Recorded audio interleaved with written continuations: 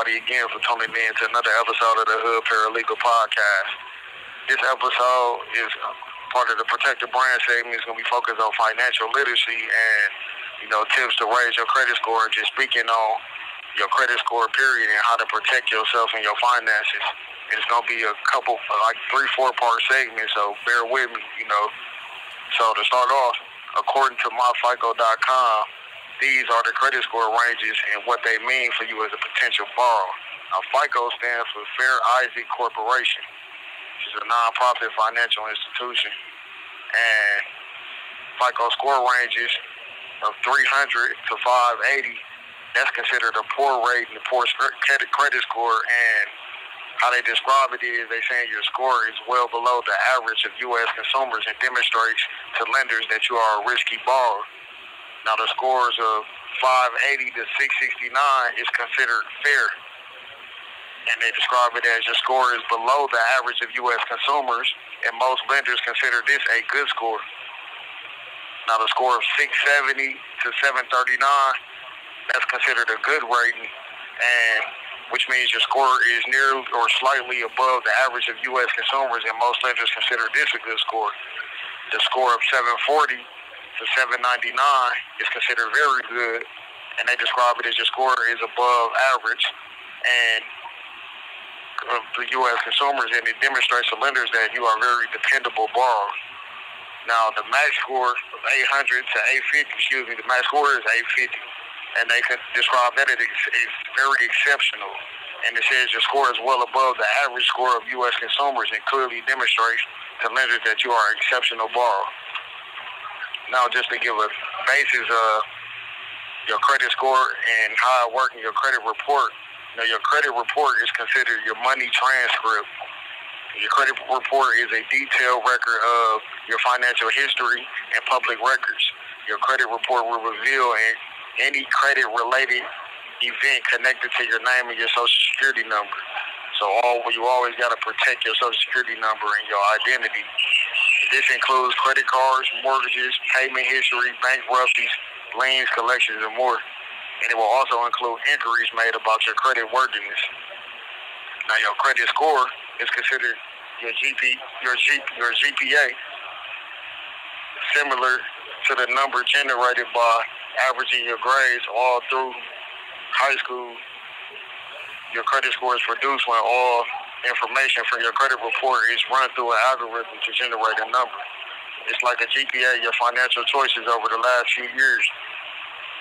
Like a GPA from school, the more grades you have, the credit the great credit choices when you apply for a loan or make an on time or late credit payment, etc., the harder it is to improve your average, even with new grades. Now, a higher credit score means that you are considered a lower risk borrower who is likely to repay debt on the flip side, a low credit score means you are in a high risk borrower situation and you may not be able to repay the debt. And that's how these companies are looking at you with your credit history. Now, the credit bureaus, which is considered the teachers, credit bureaus are like teachers who give your grades, which were based on performances in class. In this case, in class with credit, which really means that credit bureaus are the agencies that collect information about all of us to generate our credit report and score. Now, the big three in the industry are Equifax, Experian, and TransUnion. And these three also offer every year you can order your free credit report free from all three of the big threes. And I advise everyone to do it because you never know when people, it's a lot of identity theft going on, especially now. So you got to stay on point and check your credit, and that's part of protecting the brand.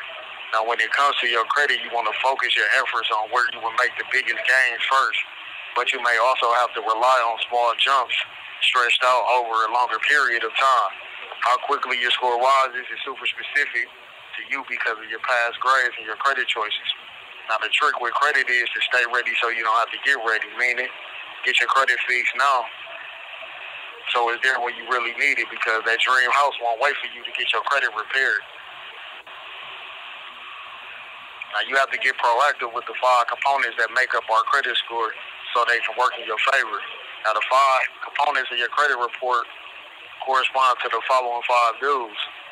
And I'm gonna break down a little bit of, you know, the percentages and how they break and determine your credit score. Now, you gotta check your what you need to do first is check your payment history. And your payment history is considered 35% of your credit score. Second, reduce your amounts owed and improve credit utilization. And that's considered 30% of your score. You know, you got to protect your credit inquiries, and that's considered 10% of your score.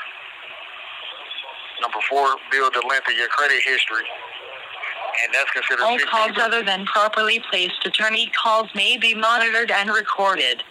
Yeah, the length of your credit history is considered 15% of your score. And number five is manage your credit mix, and that's 10% of your score. Now, as far as checking your payment history, which is 35% of your score, no matter what scoring model your lender uses, payment history has the biggest impact on your credit. This means there's a lot of potential here to increase your score. Payment history is mostly about your ability to pay your bills on time.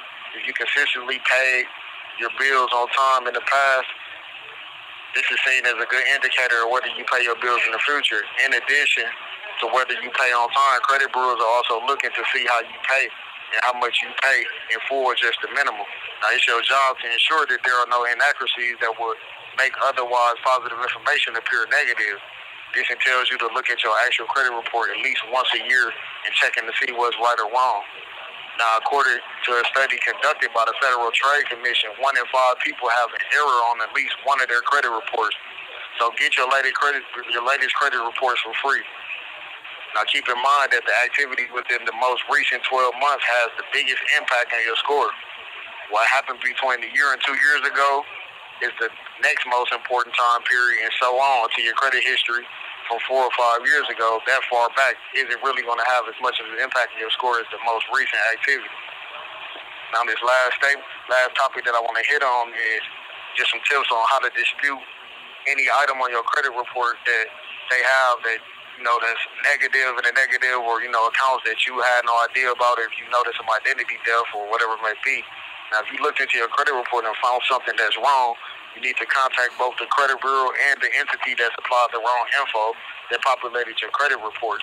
Now, here's some instructions on how to dispute your credit via the credit bureau or the entity that gave the wrong info, the bank, your landlord, or the credit card company, etc. First, explain in writing what you think is wrong, why, and include copies of the documents that support your dispute. Now, if you mail a dispute, your dispute letter should include your contact information for you, including your complete name, address, and telephone number. Now, clearly identify each mistake, such as an account number for any account you may be disputing. Explain why you are disputing the information. Request the information to be removed or corrected. And last but not least, enclose a copy of the portion of your credit report that contains the disputed items and circle or highlight the disputed items. You should include copies of documents that support your position. If you send your letter of dispute to credit report companies by certified mail, make sure to ask for a return receipt so you will have a record of that the letter was received.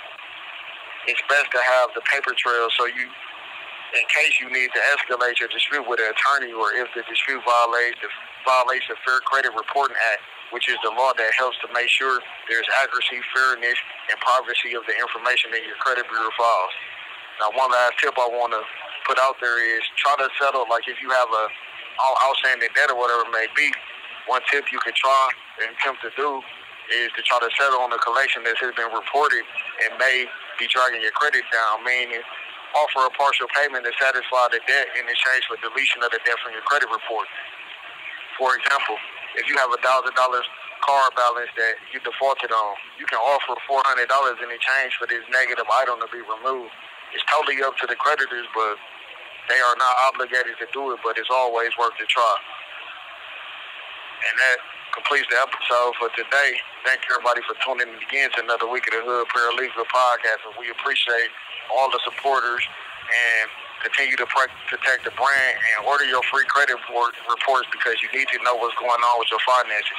You cannot protect the brand if you if you don't know what's going on with your money. And we're gonna continue this next week. You know, further hit into it. It's gonna take, like I said, it's gonna be a couple of segments. You know, and Hey, I'm here. Anything Hood Paralegal can do to assist you with these inquiry letters or drawing them up, please reach out. And thank everybody. Have a blessed week and success to you. And one last note, one last quote, and, and Jewel, I'll leave. Man, if you're around people that's toxic or, or not speaking life into your situation, remove yourself out their situations because all they can do is weigh you down. I love y'all and have a blessed week.